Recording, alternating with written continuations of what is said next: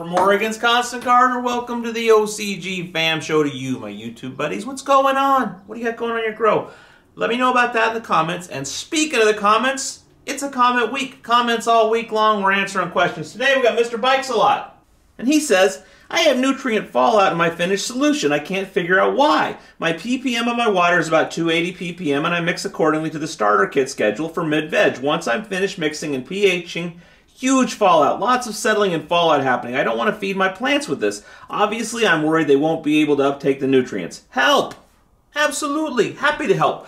Uh, but what you're experiencing there, I'm pretty sure, is not so much a problem as a feature. Let me explain.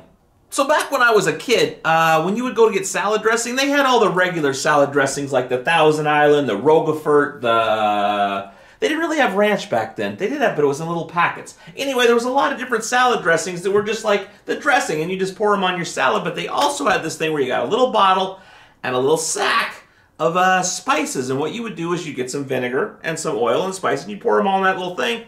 You shake it up. You got salad dressing, fresh as a daisy, kind of fresh as a daisy.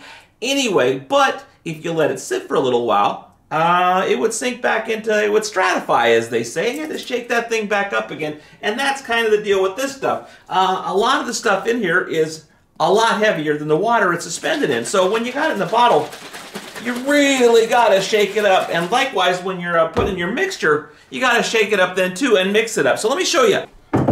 Okay, so I got a couple gallons of water here in my nectar spoon. And what you want to do, this is, this is the procedure, is you want to take each nutrient and mix it up really good in the bottle. And then uh, get your little mixolator, your little container here, and um, pour in as much as you're going to put in.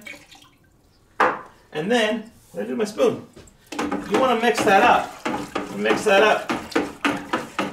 Get that mixed in there because all this stuff uh, can reacts to itself and reacts to the other things. And so what you want to do is you want to have that kind of mixed up in there pretty good with each different one so the water buffers that whole situation. So you get this mixed up, pour that one in there, you mix it up again. And so on till you get all the way through the mixture. And then you check your pH, which I have, and you put a little, uh, little Olympus up in there and mix that up and recheck until you got your pH at 6.3. And I won't bore you with that. Let's just move on. So this whole time we've been mixing this up, we've been continuing to mix to keep that thing going, to keep it suspended in solution. And then what you, you were talking about, and your thing is that you get over to your plants and like, oh my goodness, it's falling out. So what I do, and you know, we you could just keep stirring with the spoon, but as I'm watering my plants, you got your five or six plants you water, is I just keep my uh, my little uh, my mixing cup that I'm mixing with, and I just give it a little a little swirl like that between each plant, and then I pour it on that plant. it goes like that, and then I give it a little swirl between. So that's how I do it. So, you know, it's just the way it is. The stuff's heavy, it's in water, it falls down pretty quick. You just got to keep mixing that it's up. I hope that answers your question, Mr. Bikes a lot. So, uh, let me know if you have any more questions, and I guess that's the show for today. Just a little short one about a little simple thing. I love you. I'll see you tomorrow. More questions. It's question week.